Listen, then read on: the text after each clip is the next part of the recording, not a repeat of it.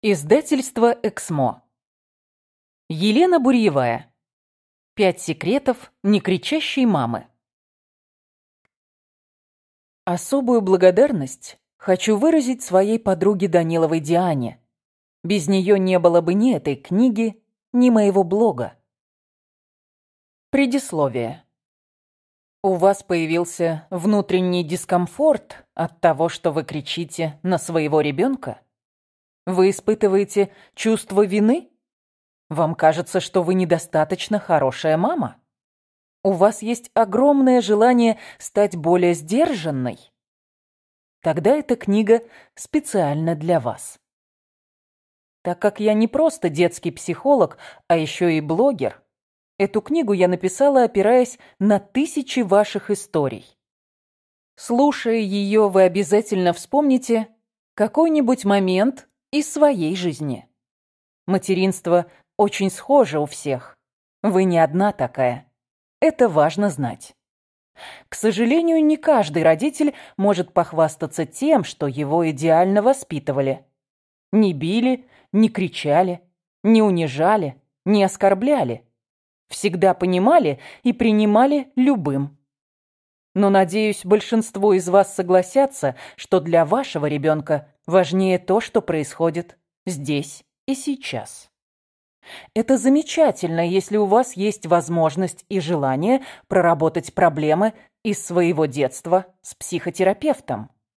Но если нет, то начинать нужно с себя. Ориентируйтесь на положительные моменты. Стремитесь к лучшему ради своего ребенка.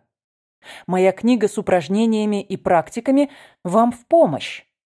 Вам будет удобно слушать книгу с карандашом. Так как я являюсь сертифицированным арт-терапевтом, я буду предлагать вам техники из этого направления. Вы знаете, что такое арт-терапия? Это одно из самых ярких и интересных направлений в практической психологии. Оно особенно хорошо тем, что многие арт-практики – легко можно использовать самостоятельно для того, чтобы помочь себе или своим родным. Задачи, с которыми справляется арт-терапия. Помогает преодолеть дискомфортное состояние. Отвлекает от проблем, переживаний. Снимает напряжение. Расслабляет. Развивает чувства и эмоции. Предоставляет ресурсы развивает творческие способности и навыки общения. Одно из условий арт-терапии – это нетрадиционные способы создания арт-объектов и различные изобразительные техники. И прямо сейчас я прошу вас выполнить первую арт-практику. Мандала. Автор Полина Постельгина, психолог, арт-терапевт, преподаватель и основатель онлайн-школы Art Psy School. Мандала – это гармонизирующая форма круга, имеющего границы и центр. В нее можно помещать захлестывающие эмоции, вопросы, желания, что угодно. Предлагаю с помощью мандал, их будет две. Одна в начале книги, другая в конце. Отслеживать ваше состояние до прослушивания книги и после. Я прошу вас оставить этот рисунок для того, чтобы потом сравнить его со второй мандалой, которую вы сделаете после прослушивания книги. Уверена, что вы заметите изменения. Вам потребуется лист бумаги А4, круглая тарелка, карандаши, мелки, краски, фломастеры. Возьмите лист А4 с помощью круглой тарелки нарисуйте широкий круг.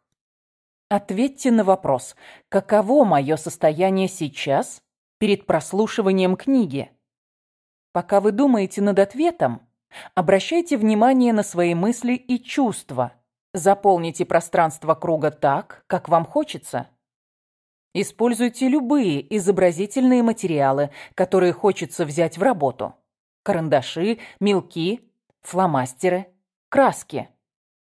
Пообщайтесь с мандалой. Можете использовать следующие вопросы или задавать свои.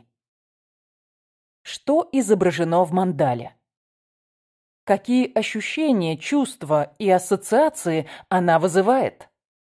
Какое название вы бы ей дали? Запишите. Какое ваше состояние она выражает?